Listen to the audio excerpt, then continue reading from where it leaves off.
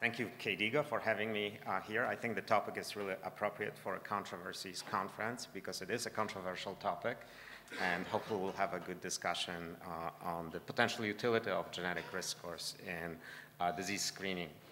I do have some disclosures. None of them are really relevant to the uh, topic um, that I'm going to cover today. So I'd like to start by um, taking kind of a geneticist's view of complex traits. And of course, from the genetic perspective, we always think about common diseases uh, or diseases in general, human diseases in two categories, monogenic diseases uh, or Mendelian traits that are caused by rare alleles with really large effect, typically observed in families. Uh, these are penetrant disorders. Um, uh, and of course, they have a large effect on the uh, disease risk, uh, but they're relatively rare in the general population. On the other end of the spectrum, there are complex traits that are determined by a combination of multiple risk alleles, and the cumulative effect of these risk alleles uh, expresses itself as a disease. And of course, that is um, the model that is being used to develop polygenic risk scores. However, um, with a recent generation of kind of large data sets that uh, contain both uh, sequence data for example, exome or genome sequencing, as well as array data, there's also um, an opportunity now to unify these models and look at the effects of polygenic background on the, um, uh, on the penetrance of monogenic disease as well as variable expressivity of monogenic disease. Of course, um, the genetics of complex traits has been revolutionized by the genome-wide association studies approach, and thousands of uh, different risk alleles, different risk loci have been associated with um, many different human diseases and traits, uh, as illustrated by this graphic taken from the NHGRI uh, catalog. Um, and, uh, you know, frankly, the clinical translation of these findings has been lagging behind. And I think from my perspective, there are two major opportunities for translating uh, GWAS findings into clinical applications. One is drug target discovery, which I'm not going to discuss here today. But the second opportunity is actually polygenic modeling. And so um, when we think about these complex traits, each of these loci discovered for, um, uh, you know, uh, in association with susceptibility to a certain trait has typically relatively small effect size. So individually, these loci are not really helpful for risk stratification. So polygenic, so the concept of polygenic risk uh, pertains to um, kind of capturing, uh, building a model, a predictive model that captures cumulative effects of these uh, common risk alleles. And so in its simplest formulation, genetic risk score um, has been devised early on in the GWAS studies and the general concept is as follows. So you have your genome-wide association study for a trait of interest. This is a Manhattan plot with each dot representing a common variance across the genome. Um, and on the y-axis, you have level of statistical significance.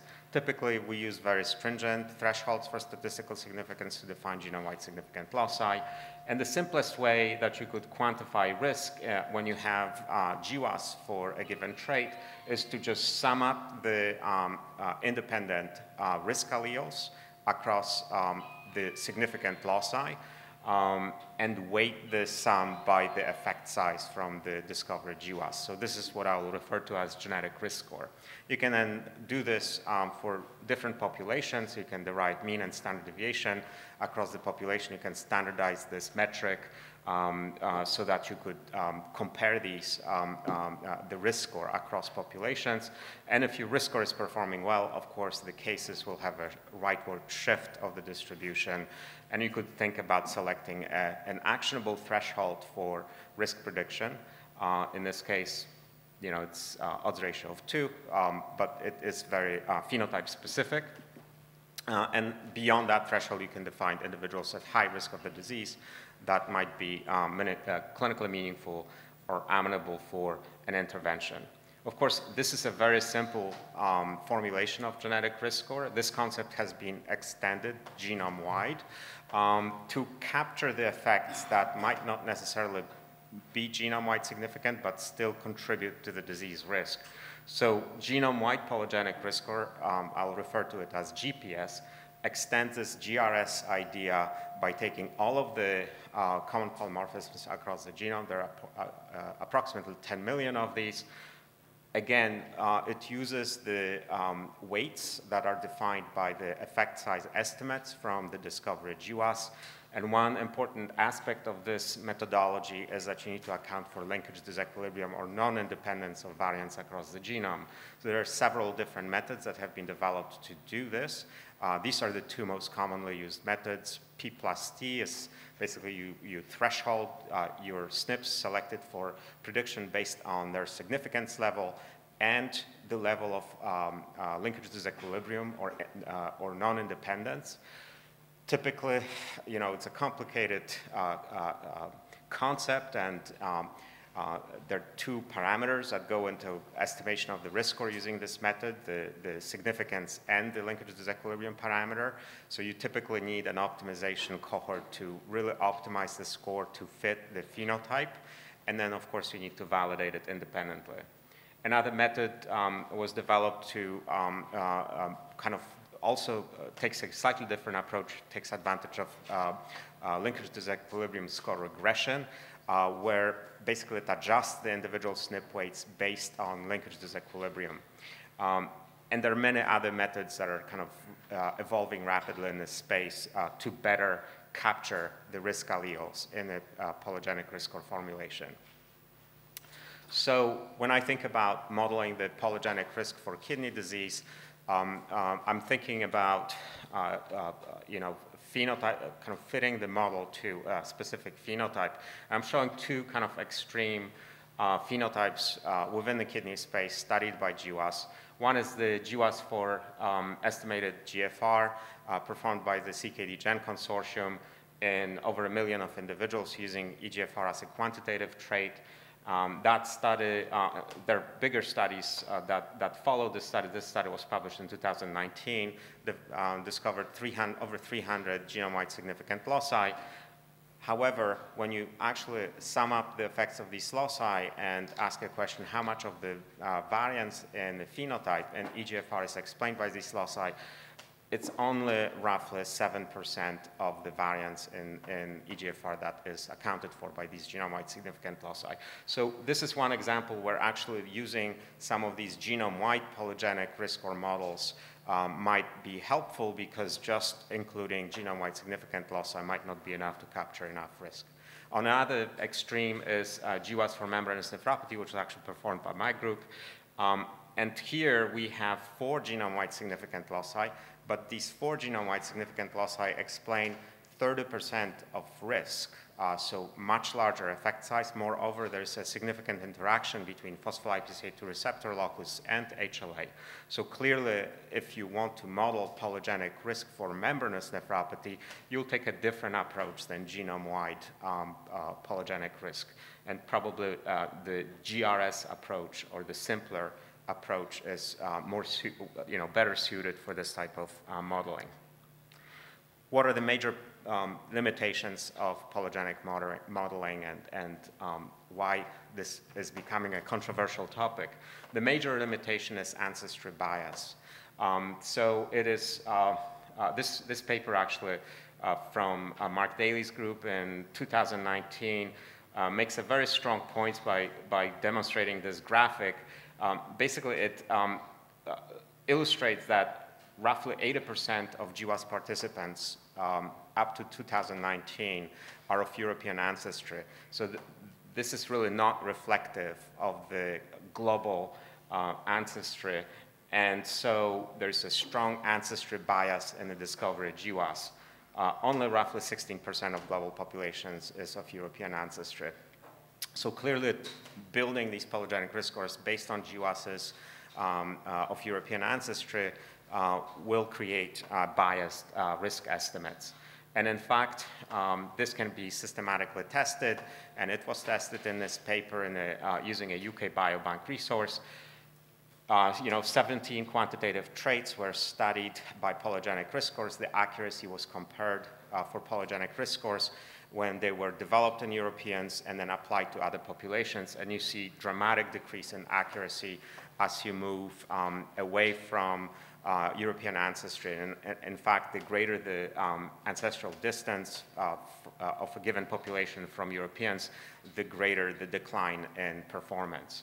So why, um, what are the factors that drive this uh, uh, decreased or poor cross-ancestry, we call it transferability or portability of the risk scores? So I already mentioned European overrepresentation in GWAS, but the problem is actually even deeper than that. Um, early microarray designs were really based on data, genomic data from Europeans. So the arrays themselves are biased towards Europeans. Our imputation panels early on were also biased uh, towards European populations. In addition to this, when we think about applying a polygenic risk score developed and optimized in European populations to other populations, there are clearly differences in linkage disequilibrium or the haplotype block structure uh, across the genome between populations. And if we rely on tag SNPs um, to predict risk in these non-European populations, um, we, our weight adjustments um, in the polygenic risk scores will be misspecified. Um, and that is another important factor why uh, the performance declines. There's obvious, there are obviously also differences in the environment between different ancestral groups. Um, and the environmental factors are really not well measured or captured uh, in polygenic risk scores, but these will affect the weights as well as you move uh, uh, a risk score developed in Europeans to non-European populations. And um, lastly, there are actually true differences in the genetic architecture between populations. So for example, the GWAS for EGFR, even though it was uh, developed, you know, it was um, uh, run on uh, uh, nearly a million individuals, it does not pick up APOL1 effects, right? So we know that APOL1 effects are, uh, APOL1 is um, uh, present exclusively in individuals of African ancestry. The effect is recessive. GWAS is run under additive model, predominantly European. The effect is completely missed. Of course, APOL1 has large effect on the risk of uh, kidney disease in African um, ancestry individuals and applying this European risk score to African populations misses that opportunity. So, uh, you know, we feel that APOL, that th this is an additional uh, problem and there might be other risk loci like this that are not included in present risk scores. So um, I'm part of the uh, bigger consortium called Electronic Medical Records and Genomics Consortium that um, is actually tasked at tackling this issue of clinical translation and, and application of polygenic uh, risk scores and implementation of polygenic risk score, uh, risk score methods.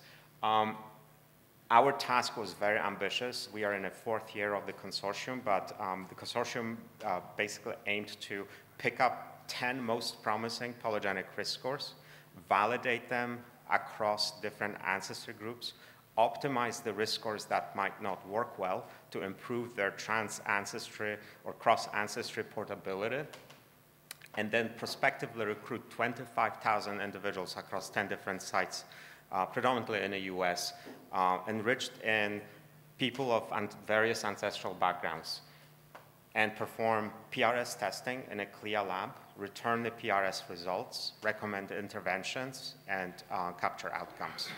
Um, and I'm happy to say that chronic kidney disease made it to the list of 10 conditions. Uh, this was partly because we actually had to do a lot of work um, to demonstrate that uh, PRS for uh, chronic kidney disease has a potential. This is how um, one of the major issues with implementation of polygenic risk scores is how do you actually um, formulate the test and implement in a CLIA lab. Um, as part of eMERGE, we work with the Broad Institute um, sequencing lab that has implemented a CLIA pipeline for this.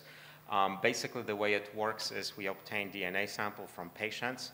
Um, we then uh, um, genotype the sample with a um, uh, genome-wide uh, SNP array. Uh, we use uh, GDA array, which is the same array that is being used to genotype all of us participants. We then do CLIA-based imputation across the genome, and um, we uh, then generate risk score distributions, and we had to devise methods to actually standardize the risk scores across different ancestries, so you could use a single cutoff for um, uh, that would be equivalent in terms of uh, risk effects um, that could be applied across diverse ancestries. And we use a number of tricks to do this, but we basically regress the um, uh, risk score value against the principal components of ancestry uh, to standardize the mean as well as the variance of the risk score. Uh, ultimately, we have uh, an adjusted risk score for which we select a threshold, which is kind of uh, ancestry, uh, phenotype specific, um, and uh, we generate a high risk report, which is being returned to the patients. Complicated process, but we don't stop there. Actually, it's, um, it was decided by the consortium that just pure polygenic risk information is insufficient. Polygenic risk score information should be delivered in the context of um, broader uh, health status and additional uh, risk factors. So we actually do monogenic testing uh, in, um, uh, as part of the eMERGE protocol. Uh, we collect family history through an online uh, tool called MeTree. and we also collect all of the relevant clinical risk factors through automatic extraction from electronic health records across all sites.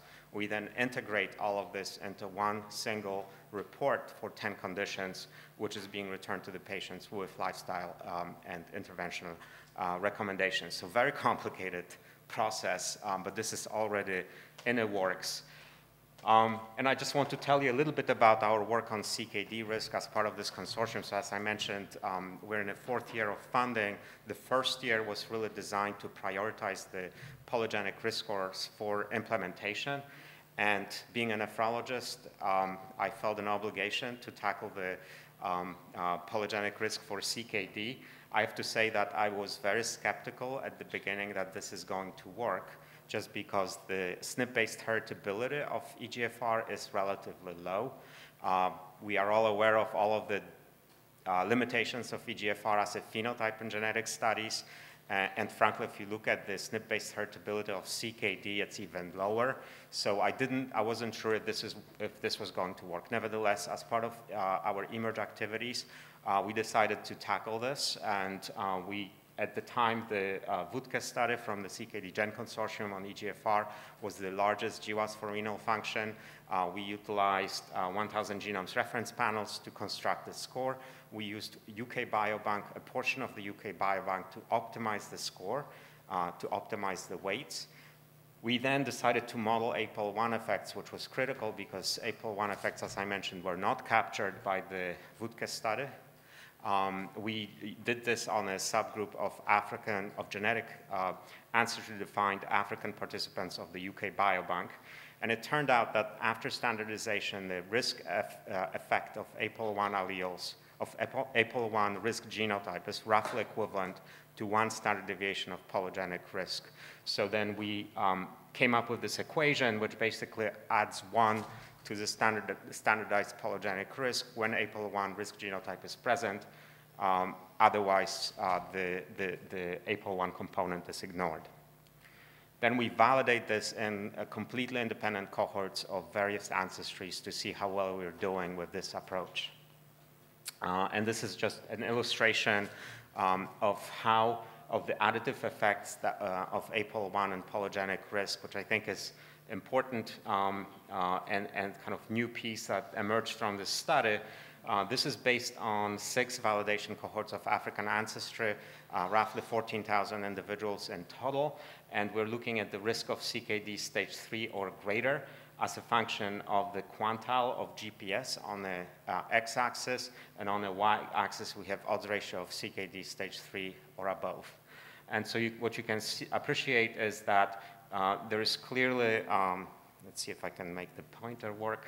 There's clearly an effect of GPS um, on the risk of disease in non-APOL1 um, uh, uh, individuals, but there is also a clear gradient in individuals who do have APOL1 high-risk genotype. And these lines are pretty much uh, parallel, so the, there was no uh, significant interaction between these two risks uh, we concluded that the risk is roughly additive uh, between the, the, uh, uh, the two risk factors. And then um, how well are we doing with um, the overall risk or performance? We tested this by ancestry as well by individual ancestry groups. These are just meta-analyses across multiple cohorts that we've done and all cohorts combined. These are odds ratios for the um, uh, effects at the extreme tail cutoff of the risk score. Uh, so we're looking at the top 5%, top 2%, and top 1%. Um, and you know, for some ancestral groups, we have really wide confidence intervals because it is a tail cutoff and because our sample size, despite multiple cohorts, is not that great. Um, however, you can see that there is this, is, this, uh, this um, vertical line implies no effect. It's odds ratio of 1. You can see that there is a significant effect of the risk score, polygenic risk score, across all ancestry groups. And just for reference, I include the odds ratio of 3, uh, which we used as a reference point in making a decision to select a cutoff for return of results, uh, because odds ratio of 3 is roughly equivalent to the risk conveyed by positive family history of kidney disease um, based on um, uh, epidemiologic studies. What about monogenic risk? So there's also data emerging from um, our group at Columbia. This is a paper from 2019 uh, that involved uh, exome sequencing of a large group of uh, patients with CKD, an unselected group of patients with CKD um, that were exome sequenced and interpreted for uh, monogenic, um, uh, uh, monogenic diseases, and roughly 9.3% of um, the, this overall um, pop population of uh, over 3,000 patients carried uh, monogenic disease risk variants. It's a significant portion of patients with CKD that actually have a monogenic contribution to their disease. And if you look at the chart of which diseases are contributing most, uh, PKD and uh, COL4A are by far most common. So we actually uh, next asked the question, is there a role of polygenic risk stratification among those with monogenic forms of kidney disease? This is a very difficult question to address because one, you need very large sample size to pick up the uh, rare monogenic causes of kidney disease.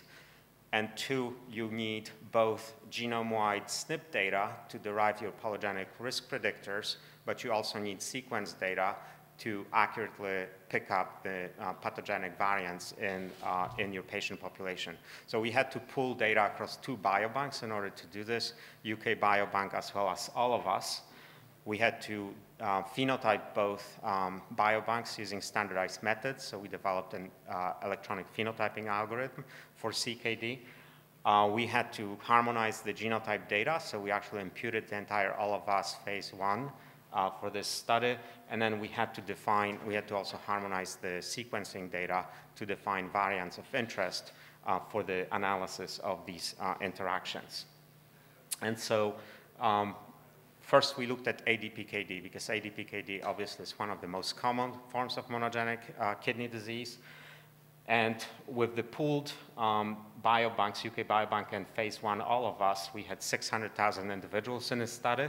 We defined, um, we took sequence data, exome sequence for UK Biobank, genome sequence for all of us. We defined um, loss of function variants by using prediction algorithms. And we also uh, filtered all of the variants in PKD1 and PKD2 genes uh, using ClinVar.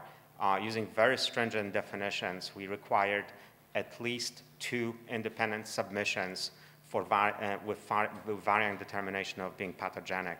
So it's a very stringent definition, and then we applied very stringent MAF filter, um, um, uh, so minor allelic frequency filter of less than 10 to the minus 5. So with these very stringent filters, we ended up identifying uh, 2006 uh, carriers of uh, pathogenic ADPKD uh, mutations, so PKD1 and PKD2 mutations. So we tested then, uh, we can then test how, what kind of phenotypes these individuals have using phenome-wide approach. When we do that, of course, cystic kidney disease comes up to the very top, and of course, all of the related phenotypes um, uh, are showing up as uh, very significant, reassuring us that we're, you know, our variant selection strategy works. But then we look at the effect of polygenic risk on uh, the uh, risk of CKD uh, stage 3 or greater by carrier status using this very stringent definition. And what you can see here is th these are non-carriers, and these are the 200, roughly 200 carriers. They're stratified by the tertile of the genetic risk, uh, genome-wide polygenic risk.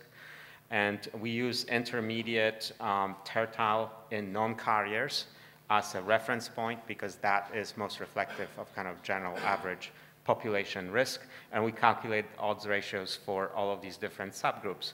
And so you can see, you know, as expected, there is an effect of GPS uh, on the risk of CKD stage three in non-carrier kind of general population, but there's also a fairly strong effect among those that carry pathogenic ADPKD uh, mutations, suggesting that, you know, the, the polygenic risk score could be really helpful in stratifying PKD patients into those that are more likely to progress to uh, chronic kidney disease. Uh, uh, so you, you, can see that, uh, you know, especially it's impressive that the odds ratio for, um, for the lower tertile in the carriers um, is three, but for the upper ter tertile is several magnitudes, uh, uh, several fold higher. We did similar analysis for collagen 4 um, alpha nephropathies and we observe very similar pattern with lower odds ratios as expected since this uh, disease um, you know, leads to, um, this under additive model also, so it includes just um, uh, heterozygotes. Um, but you clearly see that there's a similar pattern. Uh, there's a, a, a, positive association of the uh, GPS and it modifies the expression of uh, CKD3 in um, collagen 4AN. So these are really promising results. Um, this, this, this, paper is actually going to come out uh, in a couple of weeks. Um, but I, I, wanted to summarize some of these uh, findings and tell you where we're going with this. Um, so, you know, I do think that I actually convinced myself that GPS, this, this method, will be useful for risk stratification but it's still not good enough, I think, for uh, clinical use. Although, you know, I think the prospective um, phase of the eMERGE study will demonstrate some, uh, you know, will provide some hints about clinical utility. But I think if we have to go to the top 2% of the distribution to define high risk, um, that is still problematic. I think we still need to improve the polygenic risk score predictor so that we can capture a greater population uh, at risk.